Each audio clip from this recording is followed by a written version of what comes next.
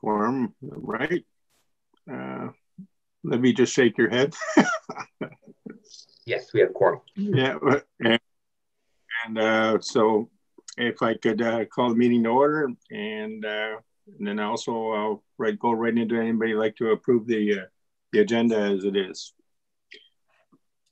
Um, I, I was hoping to add um, new business. Add what? New business. Oh, okay. Thank you. We'll put that down near the bottom here.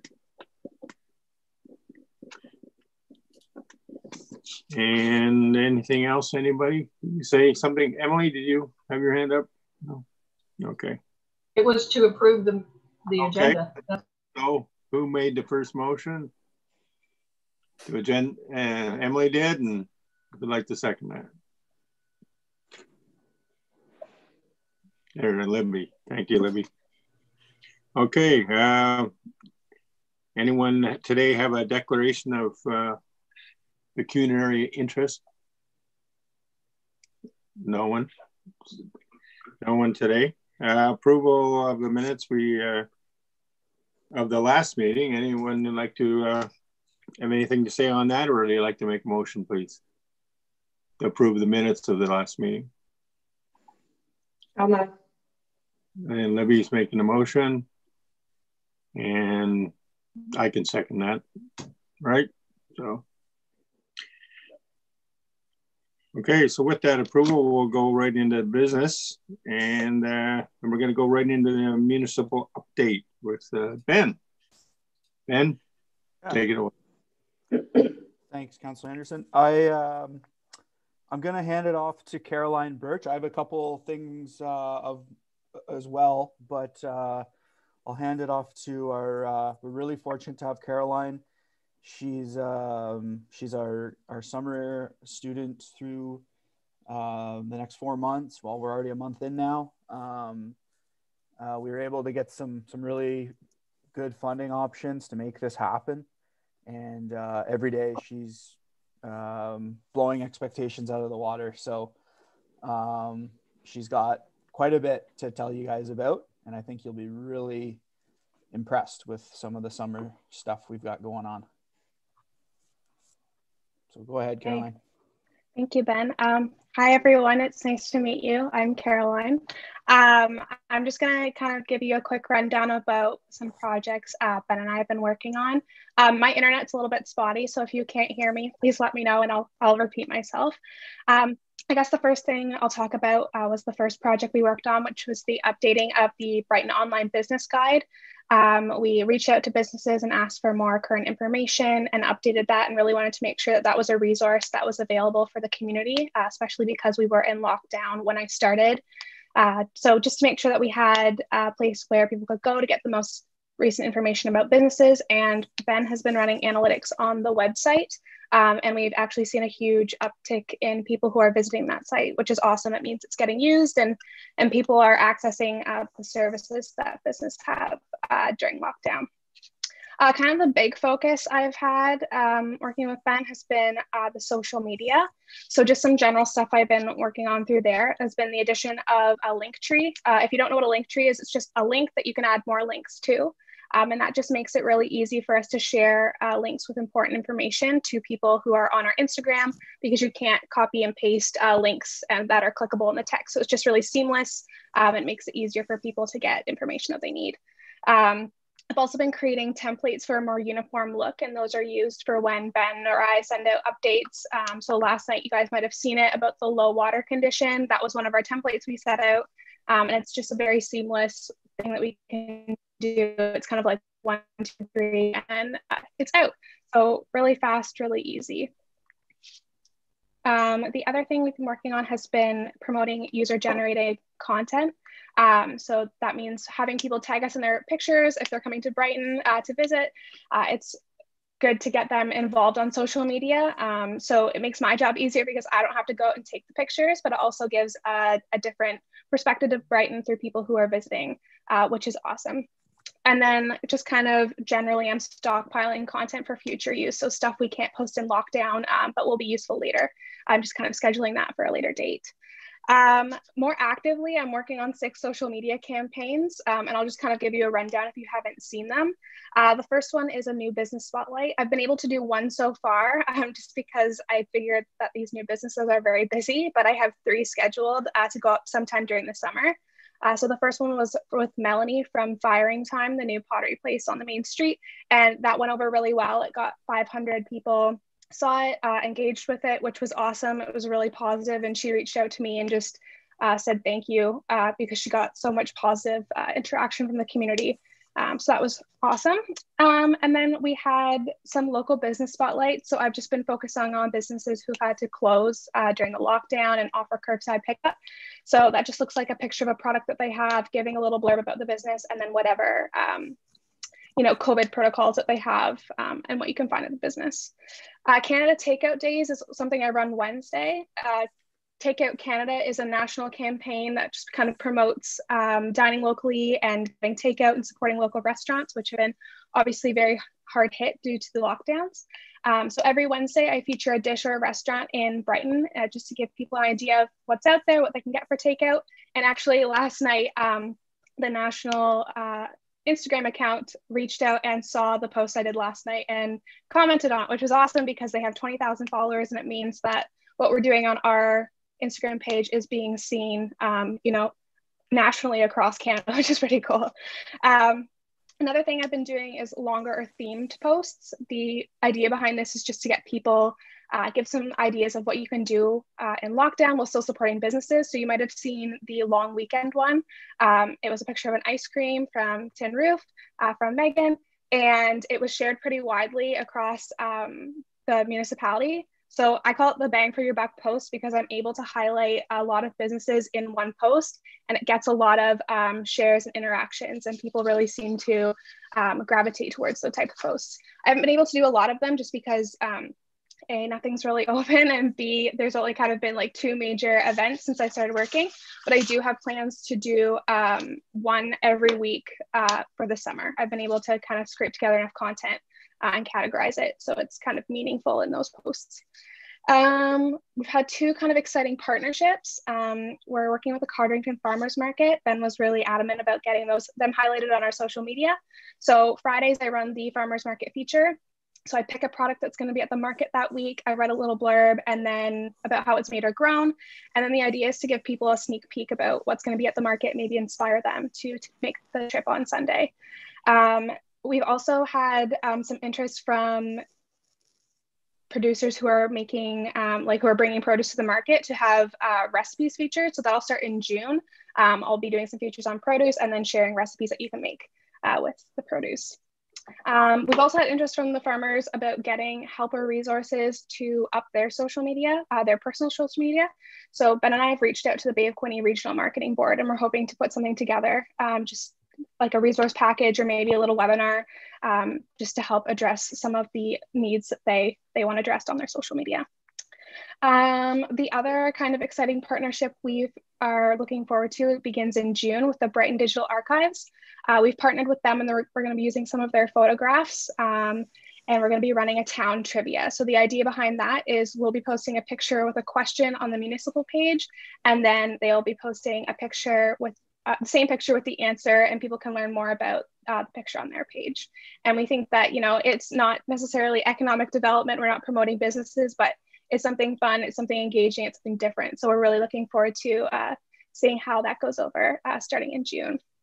So kind of with all of those six social media campaigns, I've been able to highlight 35 businesses in just under a month. Um, and I have 15 scheduled so far. I haven't been able to reach out to everyone just because I want to keep the content really current. I don't want to, you know, reach out now and then be posting in August and they don't have uh, the thing I've about. So I try to keep it very uh, current. And the goal is to have each business feature at least twice, once with their own kind of spotlight, their own picture, and then once being mentioned in a longer post, um, like I mentioned before. So that's all well and good. We've got a lot of uh, pictures, you know, that's exciting. Um, but I think what's really interesting, I'm just going to share my screen with everyone. Um, this is some of the statistics I've pulled from both of our um, social media accounts. So the white here is Facebook. Um, so over the past month, we've had 22,000 people uh, being reached with our posts, which is huge. Um, and I will say that is due to one post, but I'm going to get to that and why it's important in a second. Um, also, over the past month, we've had over 5,000 people engage with our content, which means liking, sharing, or commenting, which is awesome. That means people are connecting with the content we're putting out. Um, and that drives uh, the page followers over here, um, which means 46 people have joined our Facebook and are now getting updates and information about um, Brighton that they wouldn't have gotten before. Um, this black screen over here is our Instagram insights, um, and it's a similar story on Instagram. We've been able to reach about 500 accounts, which is up 54% um, from last month. And our content interactions have gone through the roof um, or up 945%, um, which is awesome. Again, people are identifying with what we're posting and they're really uh, latching on and engaging with it. Our followers is a little bit lower on Instagram, but Instagram is one of the harder platforms to grow on. Um, so that's to be expected.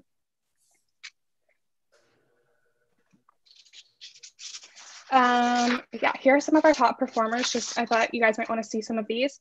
Um, this first one is a farmers market feature. It reached 1,300 people. Um, this is the long weekend post um, I was talking about earlier. 2,000 people reached on this one. And then kind of our shining star was this 401 ramp closure that reached uh, 18,000 people and was shared over 200 times, which was wild. Our whole Facebook feed was just this.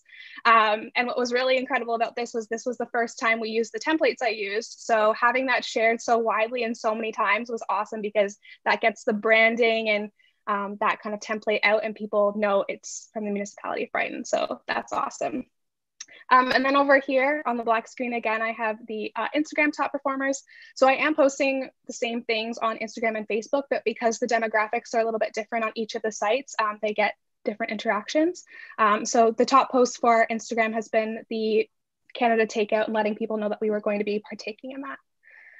Um, so that's kind of it for social media actively that I'm actively working on. Um, but I have a few more campaigns for shopping locally um, I'll speak to. This one Ben really wanted me to do um, a dining locally campaign. So I've come up with the Bites of Brighton. Um, and we're hoping that this, we can roll this out July 1st. Um, so what this is, it's kind of like a food and photo contest. Um, so people will dine locally at three different Brighton Eateries. They'll take a picture of their dining experience. Uh, it could be their takeout box, their plate, their view from the patio, um, whatever that may look like, and then they'll upload it to um, our website.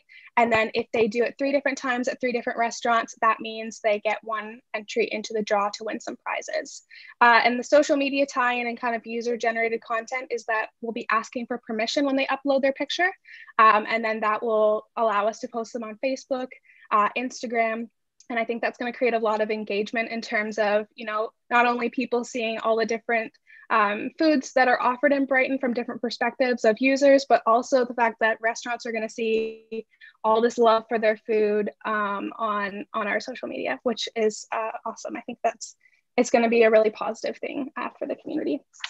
Um, the other shop local campaign we talked about um, has been promoting businesses without drawing people. So kind of walking that fine line where we want to keep the community safe and not necessarily attract so many people um, because we are still in COVID, but while still, you know, actively promoting. And Ben and I talked about, you know, we don't want to overlap the two campaigns. That gets confusing. There's a loyalty program for shopping, and then there's a loyalty program for eating. We didn't want to do that. So we've come up with this idea of um, kind of having signage in really key places of the community where we're getting a lot of traffic.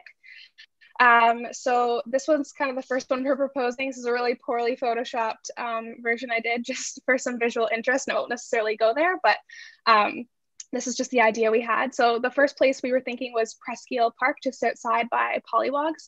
Um, that way we're getting to to the park, um, the one that comes along Lakeshore and then the one that comes along Ontario.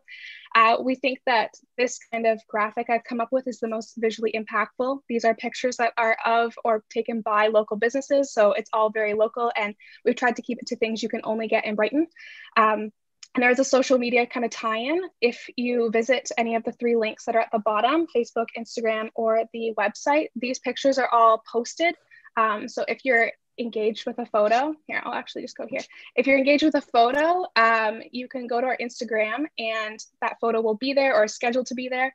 And uh, you can actually just scroll down and figure out um, what that business is and then where it is. And there's probably going to be a spotlight about it and a little bit uh, more about where you can find it in Brighton. So the idea there is, you know, people are going to be coming to the park. They're going to be coming to Brighton. Why not just make them aware of what is here without actively drawing them uh, to Brighton from other areas.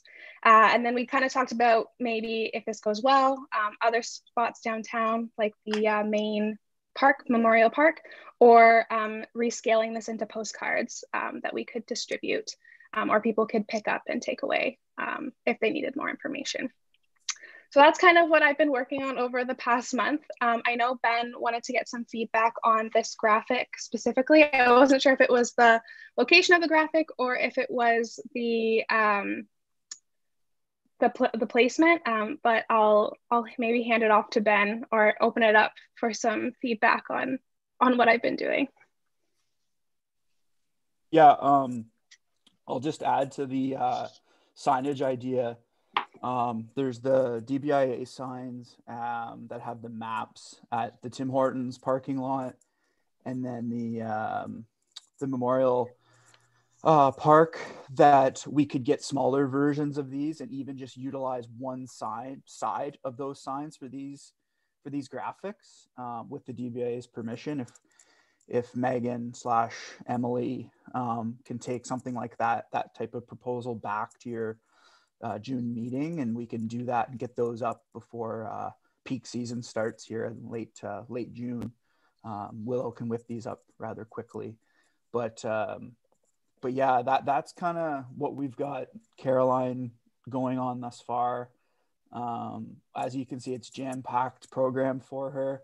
I'm really happy to say, as a manager, I don't think she's ever really bored or twiddling her thumbs or anything like that.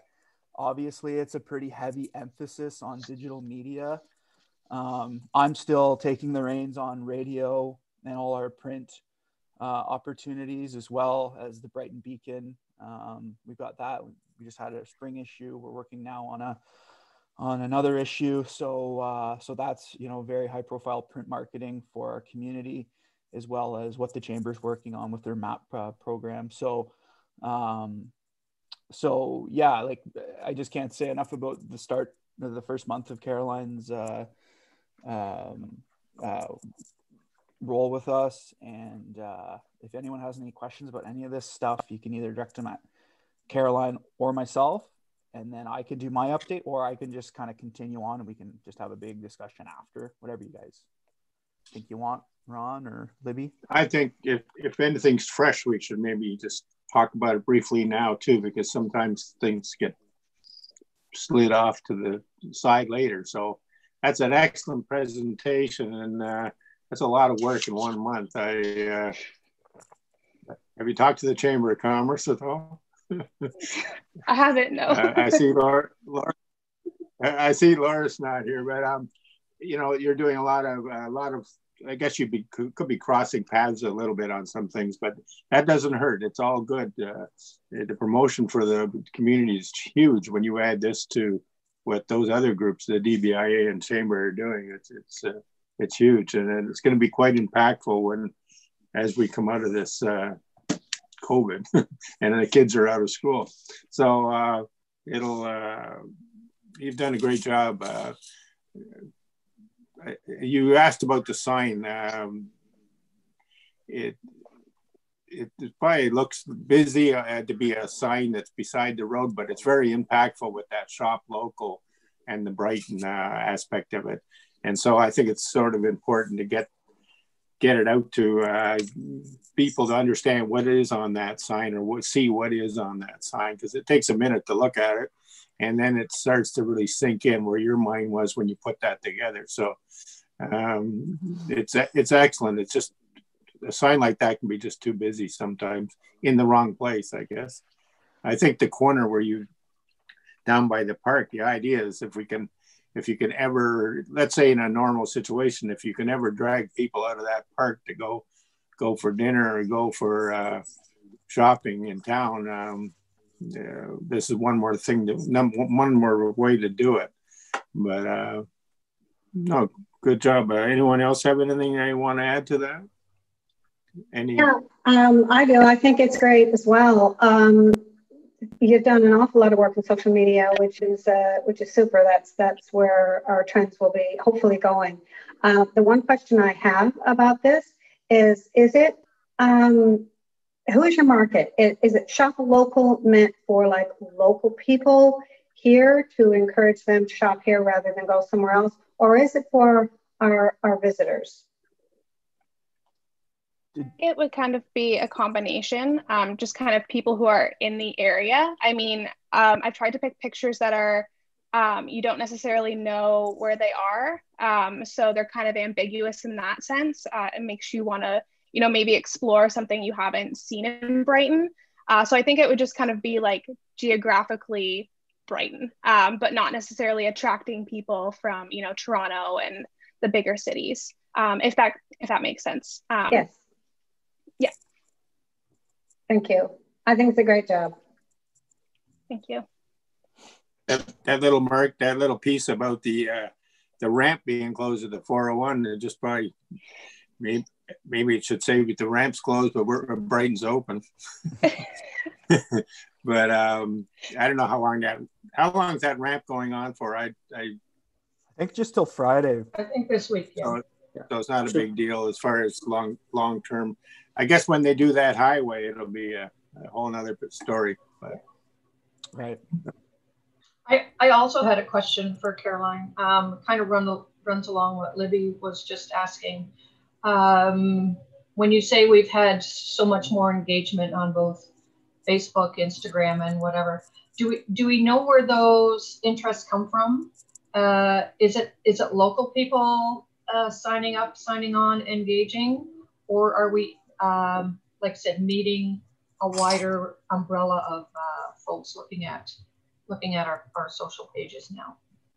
So, um, from what I've looked at on both of our accounts, the majority of people who are engaging with the content are locals. Um, but where they're sharing that, they are obviously reaching their own audience. So, I don't know where they necessarily see it, um, but the majority has been local, except for that ramp thing, which went like all over the place. Like I think people in Kingston were sharing it, so um, that one got really widespread. But for the most part, we're pretty local, um, but some periphery in terms of who's sharing what and who's engaging with what. Thank you. It's sort of I equate Facebook to, you know, like like my wife went to Brock, so she's got all sorts of friends in the Niagara region so if she if she shares something from municipality of Brighton, all of those folks in the Niagara region are all of a sudden seeing it. Um, it's just a really simplistic example of how that can kind of, you know, get moving before you really realize it.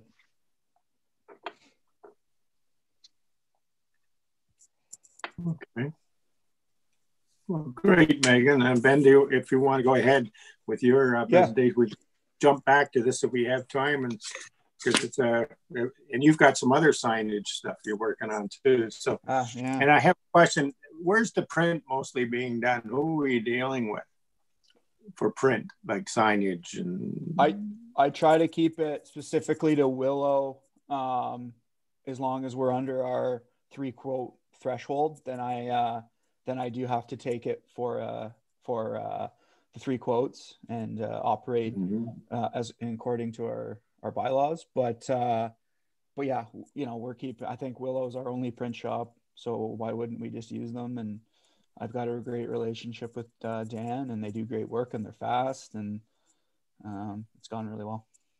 No, I think it's great. I think I'm glad we're dealing definitely locally, and I and I know and Willow, you, you can't go wrong with them too. So and they got a new machine. So all right, all right, right, right. all right. some funding for that. Yeah, you did there.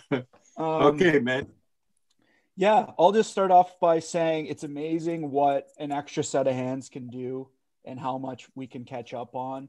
Caroline's uh, working on a couple projects. I think some people in this meeting might have already heard from her about a couple things she's working on uh, for down the road content that we're gonna that we're gonna play uh, later on in the year, even when Caroline might not even be here. So, um, so very, very huge to have that extra set of hands to compile content for different times of the year.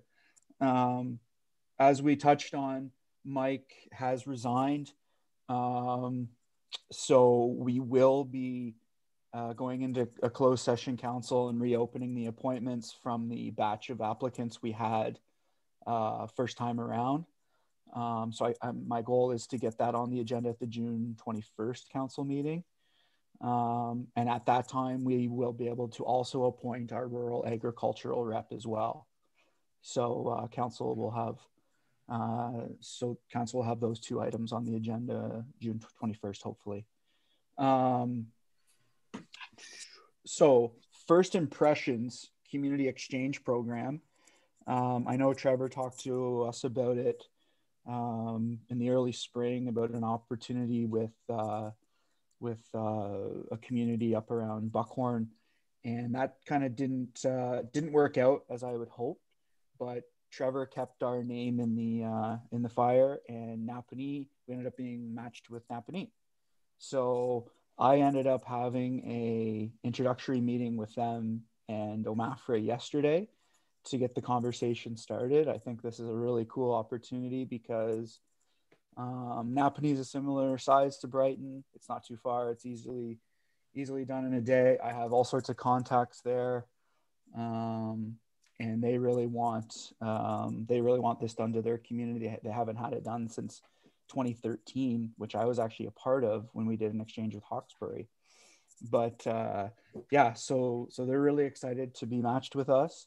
Um, kind of the the timeline um, I'm working on is uh, Napanee would like to is, is looking at getting a group to come here kind of throughout the first two weeks of August.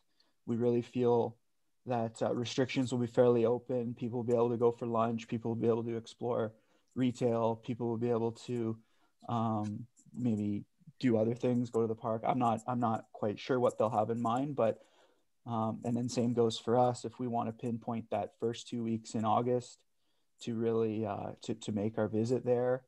Um, I think th- I think that would be a really good timeline. Um, some things we've done in different communities that I've worked on this program with is kind of a role play exercise. So, you know, if Ron wanted to go into the community as if he was looking to start a, a business and take it from that approach, and then and then Megan went to the community uh, because she got a brand new job in, at, in Kingston and she's going to use Napanee as her as her place to raise her family. Um, she can go into it from that kind of approach. So um, just a few like a just a few different ideas there um, to kind of make um, make the idea a little bit more fulsome and, and our and our findings a little bit more um, lifelike for for an Napanee. So uh, just a, just a few few uh, conversations that that we had yesterday. Um, we're going to do a full community profile, so we're not just going to do a tourism. We're not just going to do a downtown. We're going to do a full community. So we want them exploring all parts of the community. We, you know, if they can get into the rural, uh, if they can get out uh, to Presqu'île, if they can get into our other business parks, um, we want them doing that. If they can explore residential, uh, all that kind of stuff. Um, so that's the uh, that's the idea there. Um, yeah, I, I, think it's I think it's a really good program, and we're gonna get a lot of like a lot out of it. And I think there could be a lot of like quick wins come of it for this community for this committee specifically um, to get off the ground. Um, the DBIA and the municipality and the Bay Quinte Regional Marketing Board have been up to some really cool conversations around videography and photography to really increase content. Um, the Bay Quinte Mar- Regional Marketing Board did a spring marketing grant intake, and the DBIA was uh, successful in uh, acquiring some funds uh, for a video slash photography uh, project and then I I am throwing uh, uh, some money on that from my promotions budget as well. And there's also another thousand dollars from uh, Bay Quinte Regional Marketing Board that they are looking at giving every partnering DBIA slash municipalities DBIA um, to help them with marketing. So there's all of a sudden a really good pot of funding for the DBIA um, in partnership with municipality and Bay Quinte Region Marketing Board to uh, to really up the ante when it comes to video and photo content. So we're working on that throughout the summer. Um, Canada Day, the Canada Day committee. Um, obviously, we can't have an event uh, of any sub- substantial uh, volume, so we are we are going virtual. Um, we've got some stuff online. We're going to start promoting it next week, and uh, we've got a bunch of different activities going on at the library that we're promoting for kids of all ages. Um, we've got a, de- a, home business decorating contest, uh, community spirit initiative that the um, that the committee, that the events committee is kind of organizing through myself and Caroline. And then uh, Caroline has another little uh, fun little thing we're doing with uh, with some community involvement as well. Um, that's going to be uh, I don't know. I guess could be embarrassing for some people, but could be a lot of fun too. Uh, so you'll see that on social media as well around Canada Day. Um, so we're doing everything we can to offer Canada Day celebrations for everyone, um, even though virtual, hopefully the last year of it. Um, the Casey's Lane grant was achieved. Uh, so if, if all of you are familiar with Casey's Lane, it is out uh, on uh, on Main Street in between the dental center and the uh, dollar store, I believe. So it's a little bit tired looking. Um, we've got we've received a grant to add some garbage receptacles, some lighting, uh, some plant planters, uh, and just to overall revitalize that that area and make it a little more welcoming for visitors and pedestrians through the through the downtown. I know there's uh, some locates being waited on to begin construction, but now that we've received the funding, uh, I'm confident the uh, that will start uh, sometime in June, early June here. So that'll be really exciting. Um, the Brownfield CIP slash downtown CIP slash affordable housing CIP has been moved over to the to our planning department to take on. The planning department has uh, expanded uh, we have now an approvals uh, approvals planner. We now have a uh, we now have a I'm not sure his full title, but a, an actual other planner on board, and uh, there's someone else being hired as well. So we all of a sudden have a planning team that can actually fill their expertise into this CIP and use me as a uh, and use me as a resource um, from an economic development perspective. So what I've told Paul Walsh is we will get uh, we will get him or his team to come into a, a meeting bef- uh, before it goes to council and just get them to kind of go over what they had in mind in the report and how this uh, CIP will look, and then we can be used as a uh, advisory level kind of uh, sounding board, and and and they can use myself uh, as a liaison to the business community as well. So that's kind of operationally where that, that's gone. Uh, just found out about that this week that we're that we're that we're taking it in, in this direction. Um, the industrial sign, industrial park sign, which I circulated to everyone, uh, has been solidified. Um, it has been moved into the production um, uh, stage with Willow. So uh, it's going to be two-sided sign. We're going to get some sort of form of solar lighting to shine on it for when it gets dark. Um, and we kept it all within budget. And we think, we think we've got everyone's business included. We've got room for interpretation if someone leaves um, or someone joins. Um, and we think it'll offer a uh, much needed boost of exposure to that business park and that industrial park to all those businesses in there that uh, that are offering really good services. So um, that'll sit at the corner of Loyalist Drive and Prince Edward Street, and uh, working with Alan, uh, our bylaw officer, on where exactly it can sit in terms of traffic and all those and all those things. But uh, we're well on our way there. So those are just uh, handful of handful of things from my end um, that I'm working on as well. So a lots going on in the economic development and communications department. It's taken a whole other life of its own in the last, well, I'd say since you know the new year, and uh, it's it's it's crazy how how much we're we're, we're working on and getting done. Um, so it's it's really fun to see, and and it couldn't happen without really quality partners and this committee. So appreciate everyone's uh, what everyone's done so far. Great, Ben. Good presentation on both of you. Um, I, I, have, a question. Um, we've covered everything. You've got everything covered as far as uh, shop local and uh, uh, signs and uh, multimedia, but we haven't talked about as we come out of this. There's going to be a lot of new business possibly wanting to come to our area or, or to the area. And are we have any plan to maybe through your social media, whatever, start hinting about do time to set up business in Brighton? Uh, we've got some things, uh, you know, hovering around us. We have a new building center. We have things like that that we can uh, talk about.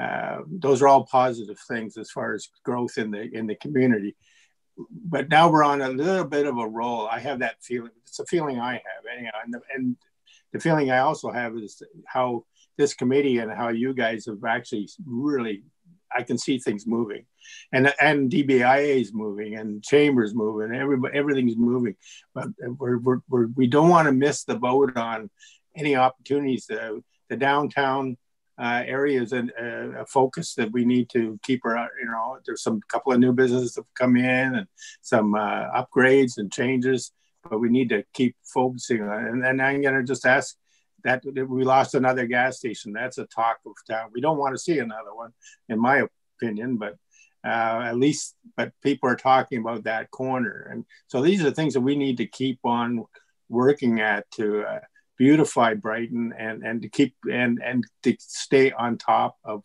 You talk about going to Napanee and seeing what they're doing, but we know what they're doing and what they've done, and and we'll probably have our eyes open when we see a little closer to uh, getting right in there and see what they're doing, and and that might bring us to, to do a couple of things. And there's nothing wrong with that. And then you hear about Quinte West by paying sixty thousand dollars for a a, a, Quinte West sign that's lit up like the Belleville sign.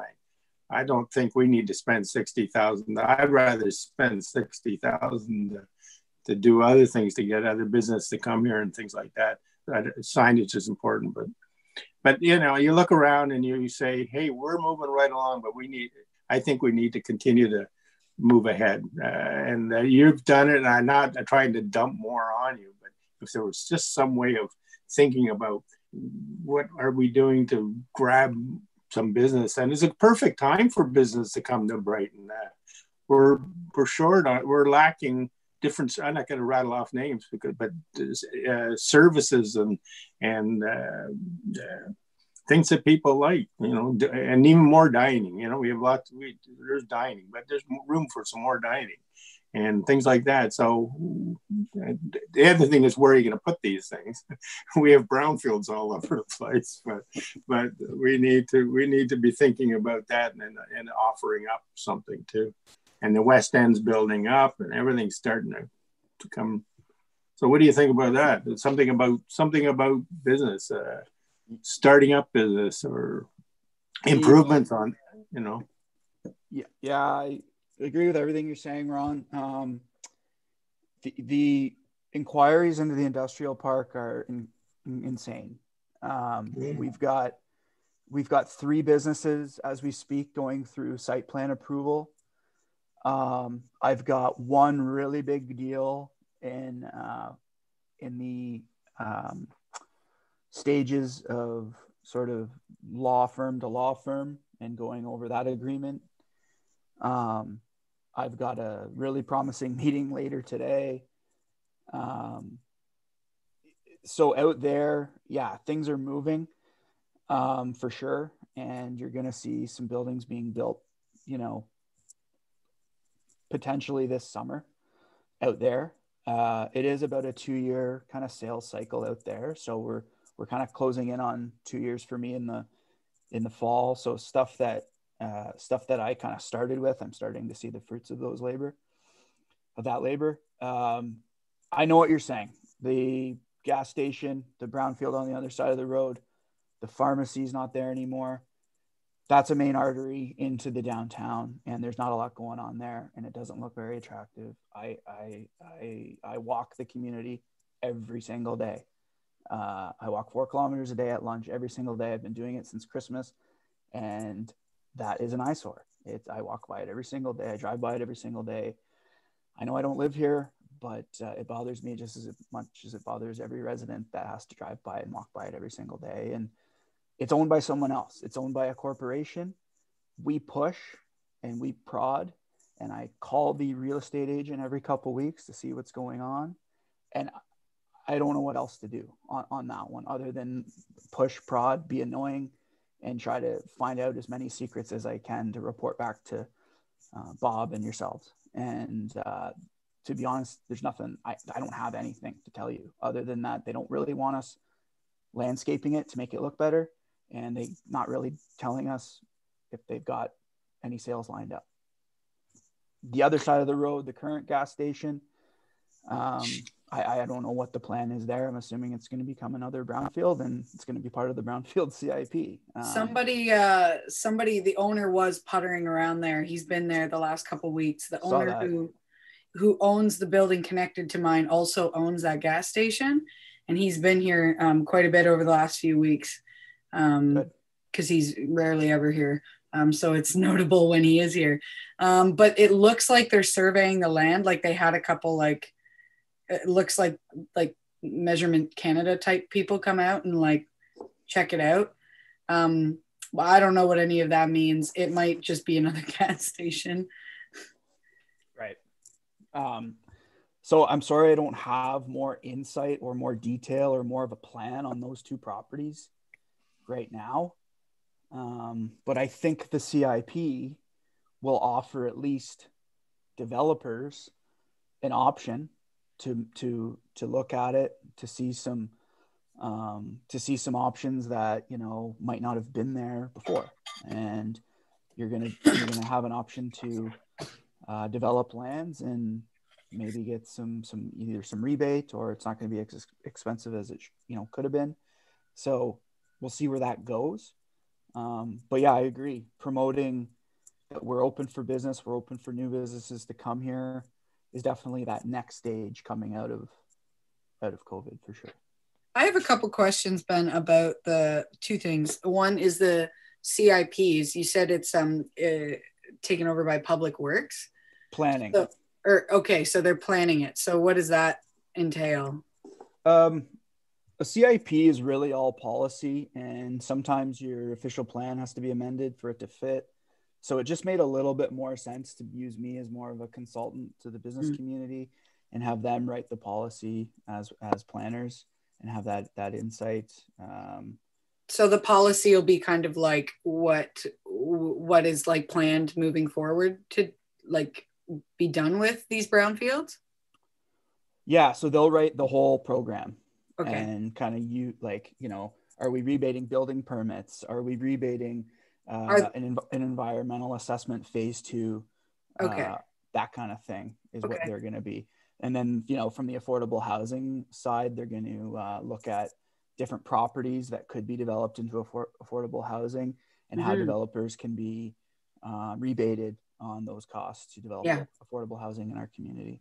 Yeah, I guess because my interest was um, just you know as far as like local input goes like obviously not every town's person is going to give their input but that's kind of like you know especially with the brownfield right here in downtown obviously yeah. that concerns the dbia's interest whatever it becomes they're going to want it to be we're going to want it to be something that benefits them. Yeah. So yeah, it's just it's just a sh- it's just a shift in who's leading the project. Okay. There's still gonna there's still gonna be public consultation opportunities and um this committee is still going to be part of having uh, having feedback. Okay, cool. And uh, the last question I had was: you were talking uh, great that we've been matched with Napanee. I think that's super exciting, especially because um, all the things you've told us about Napanee and their growth, like that, is just uh, really cool. And I'm hoping that we can have a similar um, thing. Uh, how do we go about? Do we, as the committee, select people to go for FICE or do uh, for the for the exchange, or do we go? Or oh yeah, sorry, I should have made that a little more clear. It was my expectation that this committee would take that project on. So and we're going to kind of exchange with a similar committee with them. Exactly. Okay. Exactly.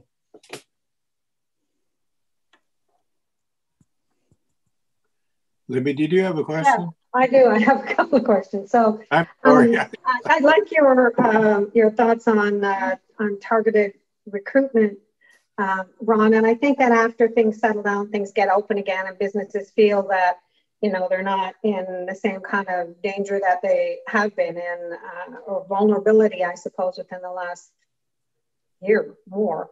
Uh, that maybe we could then do some targeted uh, recruitment of businesses where we see uh, voids in the business community in, in Brighton. Maybe that's something we could take on um, later in the year once once things are back on and even keel and businesses feel um, more secure in their business and the future. Um, but I think also, as you said, it's important to keep it front and center that we are open for business and, you know, to have like some sort of package or something ready for people that come in and say maybe that could be done with the chamber as well um, to let people know that yeah here's some material this is our you know this is our map this is where our industrial park is this is where our commercial areas are and here's our tax rates and you know just things like that so that we always look like we are uh, ready for business so I, I i'd like to you know pursue that i think it's very important that we continue to um, pursue new business as well as nurture the ones that we have.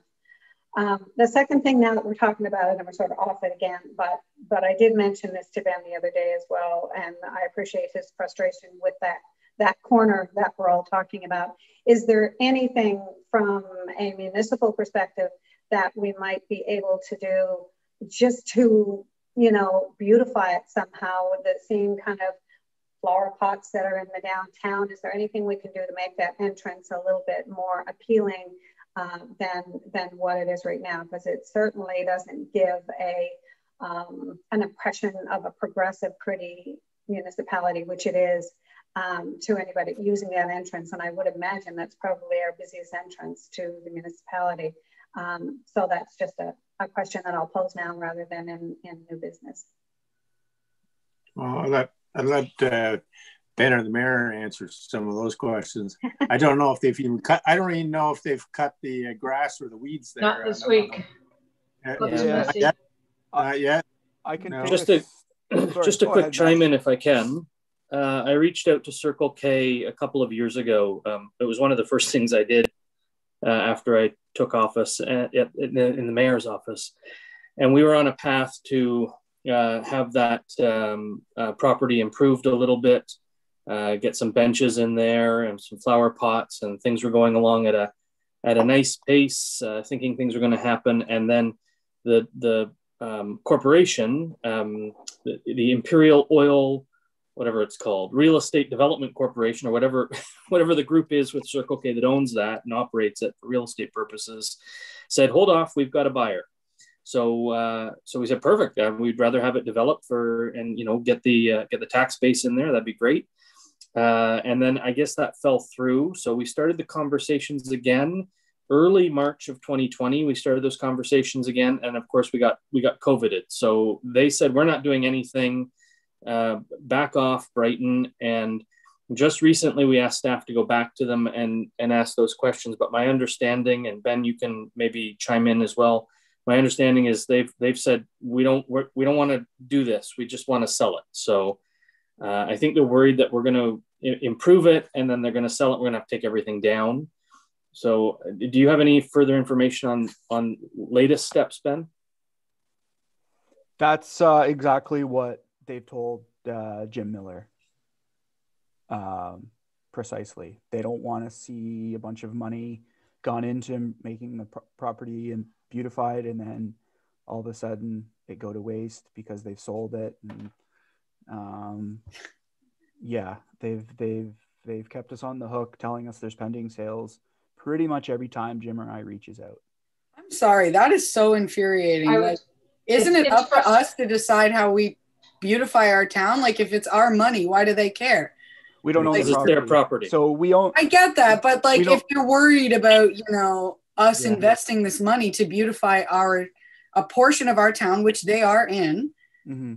you know, a really important part, it kind of just it sounds a little bit like letting themselves off the hook, sort of. I think it's it, an excuse. I think it's an excuse. Yes, it's in, that's infuriating to me. I'm sorry, that aggravates me. Well, I thought the understanding always was when we initially started this conversation with uh, Circle K or whoever, that was exactly what it was. We understood that. I know dealing with DBIA a couple of years ago, dealing with just some private citizens who have reached out, it was the same thing. It's okay if they want to sell it. We would mm. load up our stuff and move it off. Yeah, exactly. Um, I, I thought that was always part of the conversation when we initially 100%. started it. well, and wouldn't it like do better for a sale if the lot looks nice and usable. Like, yeah, I just that just blows me away. Yeah. So that, that might be true. I think the other side of that coin is a, a potential buyer might see it as the municipality having an interest in the property, and that scares private investors off sometimes. Uh, it can be, you know, we've we've all experienced or we've all heard of the story where the municipality shows an interest in something and then side kind of st- kind of stifles the ability of the developer to a new developer to come in and, and make some changes. So there may be those concerns and no doubt circle k has had these dealings across the country not just brighton and maybe gun shy uh, allowing a local government uh, access to the property and i can understand that too so um, uh, you know I, I, would ask staff i guess i'd ask staff to not to stop asking all the questions mm-hmm. like Hey, when are you going to sell the damn thing so we can get something built yeah. on it and b uh, you know wh- why can't we just put a couple picnic tables on it and run our lawnmower over it a couple times a month yeah. um, and and um, having had this conversation i'll reach out to the person i was in touch with uh, there a year and a half or two years ago and um, see if they're allowed to talk to me. I would i will bet i get ghosted but we'll see what happens. Like i'm just thinking about if there were picnic tables then you get restaurants that uh, you know haven't had outdoor seating that are about to open up for outdoor seating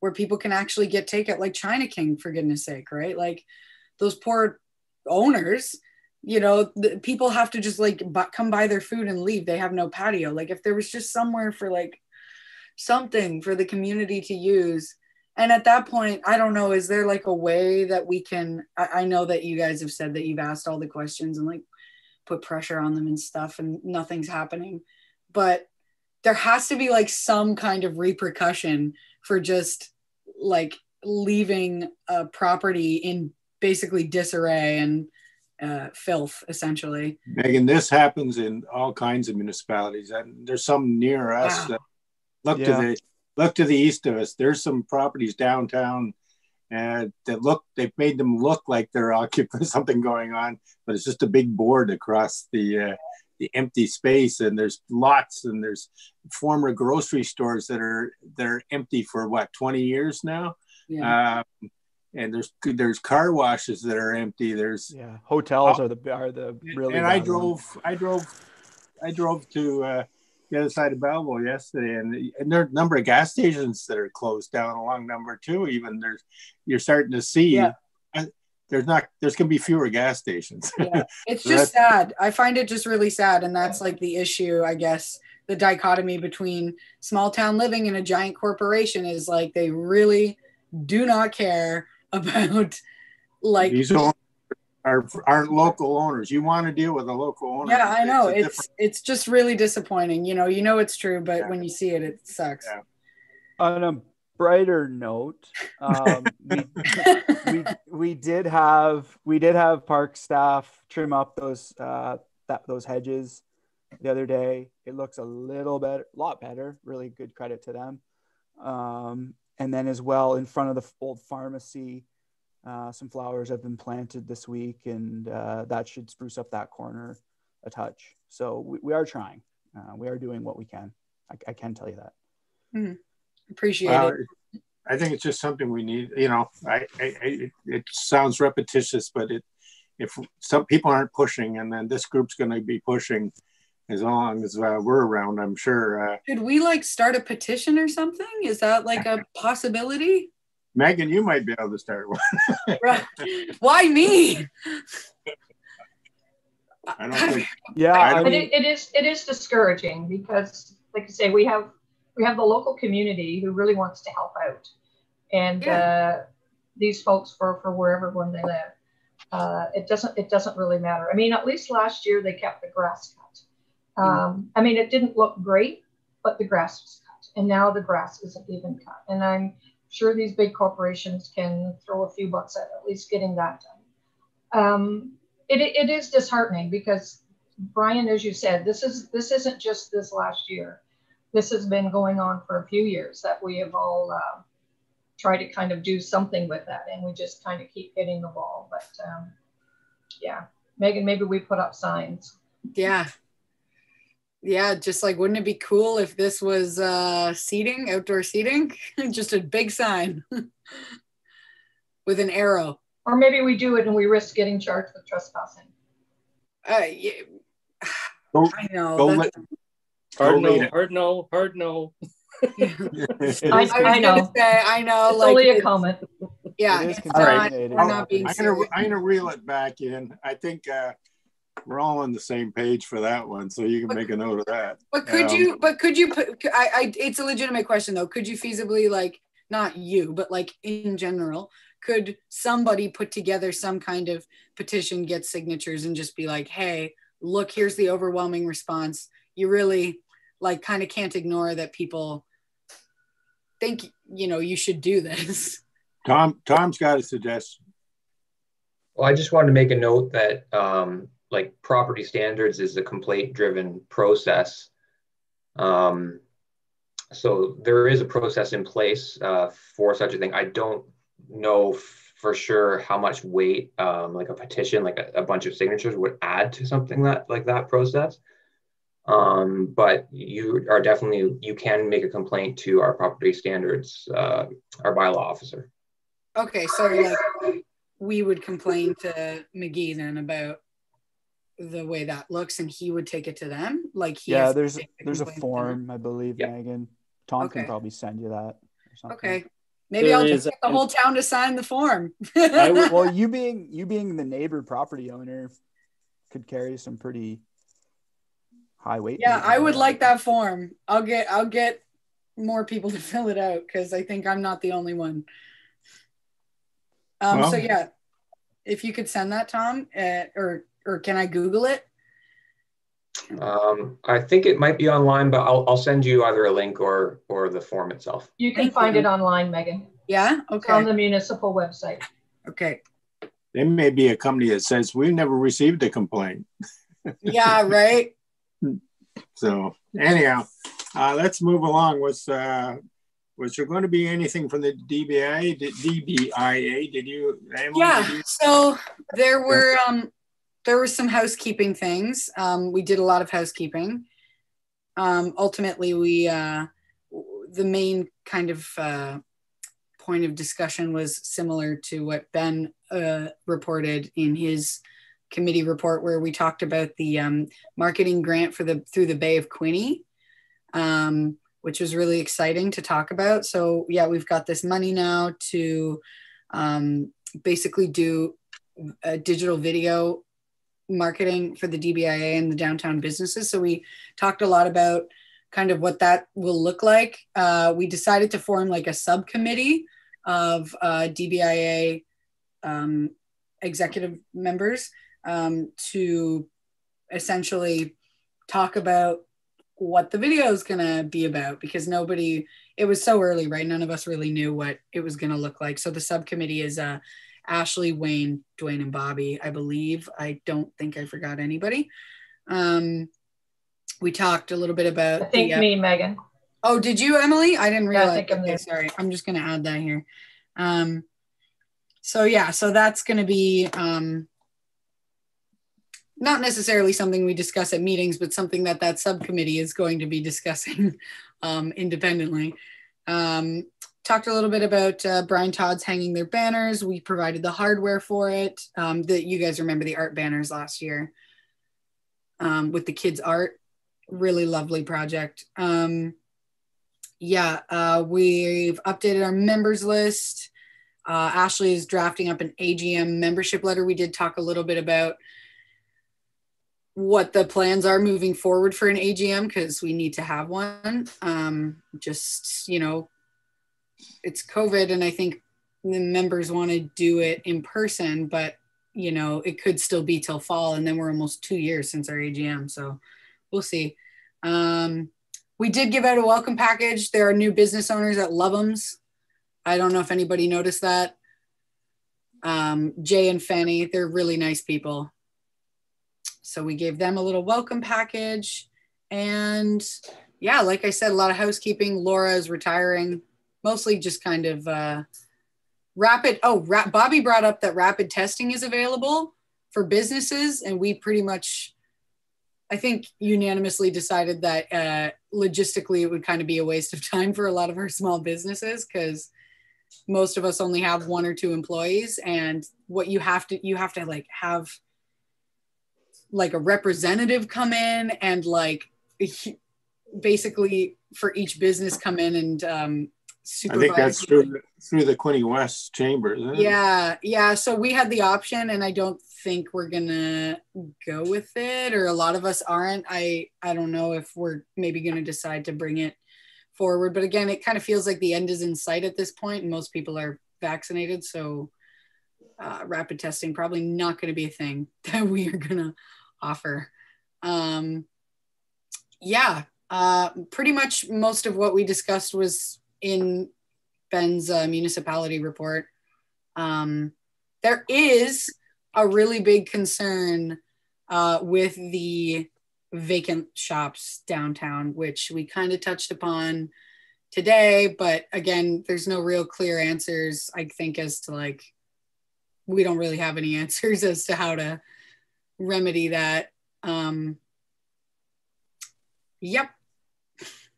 I don't really know what else to say about the vacant shops. So, uh, can I ask a question while you're doing this? Um, and do we have a list of those shops that are empty or even potentially empty? Yeah, I could tell you right now. It's no, the old. No, I don't.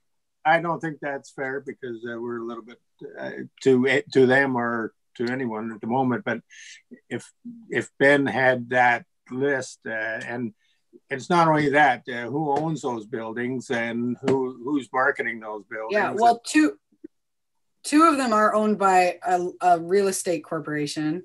Um, i know that for a fact because they're right next to each other. It's the blossoms and the old mrs b's and they've been up for rent for so long. But it, if something that we could look at or mm. at least Ben can have a deeper look at it uh, to see if there's any anything that anybody can do to assist in that. Like we're not real estate people, we're not. Uh, yeah. But we certainly are promoters, and we're certainly uh, can give suggestion and stimulate people sometimes, except gas companies. Yeah. but anyhow, if uh, and, and that might be a, a, way to look at it to see which ones rather than just say we've got them a bunch of them i'd like to know maybe who they are and what we can do to to, to assist and fill in yeah. those, what potential I mean, those spaces might have too mm-hmm. it's certainly frustrating i understand that vacancies do not look good um, there was you know uh, the restaurant beside, in your block there megan has now opened they're offering yeah. takeout so that was part of new business as well. We just haven't dropped off a package to them yet. Uh, I reached out to them and we had a decent chat and uh, haven't got around to ordering takeout for lunch yet, but I will soon. And uh, seemed like they're really, uh, really uh, enthusiastic about being successful there. And then, um, and then the pottery business as mm-hmm. well, opening up during tough times with COVID. Yeah, I think I think as much as the vacancies are frustrating us, there has been some openings. Yep, there COVID, have been. And I mean, like, which is quite interesting in itself. It, it also begs the question, too, like, we can't just on the DBIA kind of be like, well, what are we going to do about this? Like, we all need to put up ideas. so that is kind of me also putting it out there if anybody has any ideas for even just a way we can like beautify mm-hmm. those empty lots while we're waiting or again tantalize people like i think that um i'd be open to like even putting that before the the dbia and just saying like hey does anybody have any ideas you know we can't just kind of keep waiting for something to happen because yeah like you said ben even though things have been opening it's still covid yeah. and you know and i know uh, down further down the street uh, sort of beside the real estate uh, the real estate office there is a vacancy but there is a application in the window yes so that was also uh, talked about at the dbia meeting i don't really want to talk too much about it because I feel like it's a polarizing topic. Sure. Um, but it would be really nice to see that space filled with literally almost anything. well, that, that, that, that was the point I was sort of alluding to is that uh, it's in the application, I think public consultation um, uh, process right now with the, uh, with the Ontario alcohol, cannabis, whatever yeah. And uh, even though it might not be what every, everybody wants in there, at least there's a plan. There's interest in that. There's interest in that uh, space. Mm-hmm. So, you know, like that's one right there that there's there's wheels turning on. So we can't really sit here and say like there's nothing going on. No, absolutely. Right? You know, so that's sort of the point I was trying to make. But yep. I, I, I, I do get frustrated. Be nice to see Dragonfly filled ASAP. Yep it'd be nice to see Mrs. B's filled ASAP blossoms. I, I get it. I get it. Yep. No, I, I just thought I'd bring it up. I just bring it up because it was talked about. Can I ask a question on that, Ben?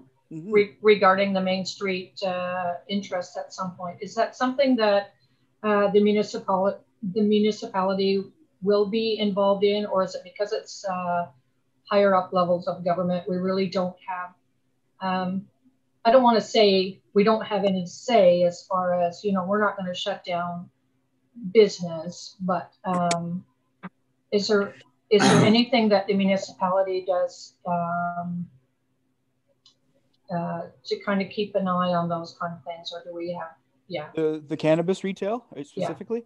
Yeah. yeah. So it would have been before I started. Council would have been asked to, uh, if you were interested or not. I forget the Mayor Ostrander could help me with the actual uh, opt in or opt out. Opt in or opt out. Opt in, opt out. Yeah. And, first, uh, one of the first things this council did was opt in. And yeah. uh, Brighton opted in, as pretty much every uh, community Ontario did. So at this point, no, uh, I don't think, I don't think you can do much uh, as long as they're keeping X amount of yards or meters from the schools and the different different rules that go along with it, which I know that that place is. So uh, I think yeah. our concern, I think our concern was more about the production and where production takes place. The sale of it at the retail end of it, that was something that can be dealt with and in a, uh, you know, like you said, on the location, and we can have the control over that. But production nope. and where they're nope. doing that was nope, nope, no? nope. The opt-in, opt-out was entirely retail Brighton opted in, and the, the groups that come in have to work within the provincial mandate. Brighton does not get to choose where these operations go any more than we would get to choose where a clothing store gets to go. Uh, at the end of the day, they have to be so many meters away from from from a school from a school or a child care position uh, the whole production facility thing was dealt with through our land use planning policies, Ron, and it was a different subject matter altogether. No, that's so, what I was saying. Um, I'm I'm happy to make I, I happy to make comment at some point. Okay. Yeah, was, that's where I was leading to was the production part of it was it was you couldn't just produce it anywhere in Brighton. No, it would be produced at a facility probably where they're getting it from is probably not even remotely close to Brighton. It's probably like in Smiths Falls or something like. Yeah, which would probably have Health Canada yeah. approval. Yeah, like it's already. I know I understand people's hesitancy sometimes with these things, but like there's so many levels of policy and legislation at work here that like it's not like your local drug dealers like coming into the neighborhood to like pre- predate on your children. I think uh, I think uh, it's probably pretty by the books, and it's probably going to be, uh, you know, pretty rule heavy. And you know, I don't think that it's going to be anything where it's going to bring like bad types into town. No more so than an LCBO would. Are you saying bad t- types go to the LCBO? No, I'm saying, uh, but I am saying that uh, L- having an LCBO in town, you can make the argument that it promotes alcoholism. Absolutely. I know. I know what you're talking about. Yeah. Can I ask just one more question on that? Just Megan kind of brought it up. Um, the policing of that, um, because we hear a lot of not so nice stories about those kind of places as well in the area. Do we we don't police it either then, right? It's all done provincially. From a bylaw perspective? Yeah. Yeah, or, I would I would say it falls under what any retail outlet for any subject matter falls into. If there's property standards concerns, I think our bylaw officer would have full autonomy to act accordingly. But for all other like legal matters and on complaints of safety, I think yeah. that would be OPP, just yeah. like it would be for a clothing store or a shoe store or anything. Yeah. Yeah. Okay. Thank you. Thank you, Brian. Ben. so, with that, uh, Chamber of Commerce, we do not have a representative as far as getting a report. Um, and aside from that, there was new business uh, Libby wanted to talk to. Should we go right into that? Libby, you had something? No, the only thing that I wanted in, in new business was the uh, the beautification of that corner that we've already talked about. So um, okay. I'm okay with that. Yeah. All right. With that, uh, anyone else have anything they want to add today, or is uh, the mayor have something you'd like to add? Uh, yeah, just very quickly, um, um, Councillor Anderson, thank you very much. Um, good meeting, everyone. Thank you. Lots of great uh, input. Caroline, welcome on board. I, I know I've said that to you privately, but uh, now very publicly, welcome on board. Um, hope you are able to uh, set Ben on a good path because I know you're probably only here for a short time. Uh, but we appreciate your your efforts uh, uh, and the efforts that you're going to make. Um, very quickly and for the record, uh, because it was mentioned during uh, an update, I, I would declare a conflict of interest with regard to the Brighton Beacon as it's published by my employer, Maracle Incorporated. So I'll just throw that out there for the record. Um, and I just want to say, you know, everyone's doing a, a great job of doing what I'm about to, to say. I, I mean this from an economic development perspective, from a DBIA perspective, Chamber of Commerce, and collectively uh, across the municipality. And that's, you know, our responsibility is cre- to create the conditions for development and, and, and rentals and, you know, economic growth in the community. You can't see me, but I'm waving my hands around. Um, so when we say, you know, you know, what are we going to do about rentals? What are we going to do to, to get people in these shops? What are we going to do to sell that uh, gas station, old gas station on the corner? we're doing it. We're doing we're doing everything we can. We're, we're celebrating the municipality. We're talking about uh, bringing people in. We're, we're creating uh, community improvement plans. We're doing all of those things that haven't been done in the past. Um, in the past, we looked at some of these properties and we scratched our heads and said, what are we going to do? And we talked about community improvement plans and we didn't do anything. And we sort of crossed our hands across our shoulder, our, our chests, and um, that kind of attitude pervaded in Brighton. And I, I, think it stopped people from coming here and investing in the community. And we're seeing the opposite of that now. Um, as we redevelop our economic development programs, as we as we engage in our partnerships across the municipality and regionally, we're seeing the benefits of that. And frankly, much, much faster than I thought we would. So uh, good work, everyone.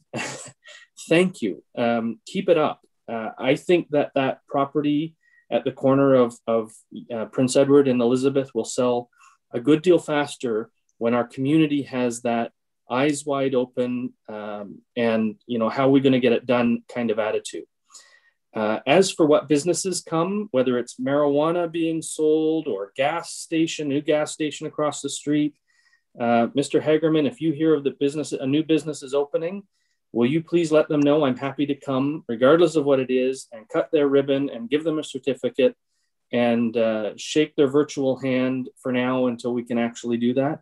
Because we want to celebrate new businesses in this community, even if they're moderately controversial. Uh, that's okay. Um, and you know the the the gas station that Comron owns uh, is is a gas station, and and it's likely to be a gas station unless at some point uh, they close it up and uh, and it becomes part of our CIP plan. So, um, you know, I, I get that, that some things aren't all that popular in our downtown. Well, that's okay. We can get over that too. Anyway, that's that's my very brief comment for today. Uh, thanks, everyone. I do appreciate the work you're doing. Good. Thank you, uh, Mayor. All right, with that, we can uh, move to an adjournment as, unless anyone else wants to have the final say. And Emily wants to have the final no, say. I don't want the final say. No, no, no. But I do have a question because it was brought up uh, a little bit earlier by both Caroline and Ben regarding, um, let me just see, where's my notes? Uh, yeah, the DBI, bait the DBIA maps and your new maps that you're hoping to go into, like make a two-sided thing. Yeah, you, you talked about two. There's three, just to let you know. There's three places. Um, those DBIA maps that we have, we need to update them. So, wondering if um, if you have, or if you will, or if you could, reach out to uh, Ashley, our uh, DBIA administrator. I'm not sure where along the road we are with that. Um, uh, as far as updating those maps, only because um, you know we don't want to we don't want to advertise empty stores on our maps. You know, we're right. trying to keep what the maps looking positive. So uh, it might be worth reaching out to her and to see um, if how how far along we are with changing um, what's what's on them. Okay. okay. Um, how do you feel, Emily, before talking to the rest of your group about us inserting just maybe for the summer or in, into like Thanksgiving weekend, even uh, one side of those signs being the graphic kind of shop local um, thing that we're going to do out at Presqu'île. My, myself, you know, I, I'm I'm one of many on a board, like everything else. So I think it should go to the DBIA. Okay. Um, but we, just to let you know that as well, we meet next week, Ben. Mm. So oh, um, maybe kick Ashley an email so that she can put it on her agenda. I know she's working on the agenda for next week. We just received draft minutes from our last meeting. Okay. So, um, I'll send a copy of the graphic design so you have that to look at at the yeah, meeting we, as well. We got a lot of new businesses, so we want to make sure that they're on the map, right? That's right. Yeah. Gotcha. Yeah, we're, we're trying to create a positive map as well. Take off yeah. the but we don't want to advertise empty stores if we can fill them. So yeah. I would suggest sending it over um, to Ashley Ben so our, our board can discuss it. We meet next Thursday. Okay, thank you. June 10th. Yeah, thank you. Okay, and uh, chairperson, oh, Tom, you have something? Just wanted to make sure we are we're on the same page for next meeting. Is is July 1st uh, what everyone's looking at? Or do you want to have a meeting in July, I guess? I wouldn't be pick July 1st. Uh, yeah, that's, that's definitely that could be a vir- it'd be a virtual meeting. Uh, we don't want to pay our municipal staff time and a half and a half. Yeah. yeah. Could we go to, to June um, 8th? July. July. July. July 8th? Or yeah. we could go, yeah, that I'd suggest we just bump it a week eh, for, for sake of uh, is that good with you too, Ben? Yeah, that's good. perfect. Okay, so July 8th. Would you like me to set up a partner or a group to come and, and speak to us? That's something you know is relevant, or do we want to continue just spitting out uh, all the work that we've been up to and talking about our local stuff? I, I I'll just say I like when you have somebody come and speak to us for okay you know educational to us and uh, if it's something that's uh, of interest to all, all of us here it'd be great we won't be quite as heavy from caroline and i next month uh, we had a lot to report on today so Yeah. I, I kind of think it's nice to have meetings like this every now and then so we can discuss, we can really, you know, fill the meeting with things that we're actually doing. And my opinion would be if, if we have a group or an individual or an agency or somebody that we're connected with um, that has something new to report or um, new that we can, you know, that we should learn about, then that's great. But just having somebody for the sake of having somebody, um, I, I, you know, would prefer that we, you know, stick to this style of meeting. Any other okay. comments on that? I agree with Libby. Yeah, I think we get a lot more accomplished when we yeah. when we do this. Yeah, and I want that petition or that that whatever you're doing there, Megan. Send me that link the whatever I'm doing? Property yes, for the corner, the property standards. Yeah. Oh yes, absolutely. I trust me. I have like I'm a visual artist, so I look at it and I see so many things. Yeah. But obviously, I am not a policy writer or really a rule follower. Um, so I uh, I uh, can't can't implement any of my ideas. I like that. Thanks, thank you, Ron, for, for taking this meeting today. Hopefully I'll be able to see better at the next meeting and be able to read an agenda and so on. Thank you very much. Yeah, and just Ron. add, go back, go back to that, Ben. If you do get your hands on a, a someone that has some good meat for us, uh, don't be afraid to invite them along. Though I, I think that's it is for ten minutes. Uh, it's really important to learn something. You know, if it's something that we've been talking about and and we just need a little more information you've got that person in front of us we can pick their brains for 10 minutes or something so. Okay. I got a couple okay. ideas. All right great. Okay with that i'll call for an adjournment at 9 25 i guess it's roughly 27 and uh, thank you everybody. It was a good meeting and and uh, we'll just keep on moving on forward so thanks a lot, and we'll see you July the 8th. Okay. Thanks, guys.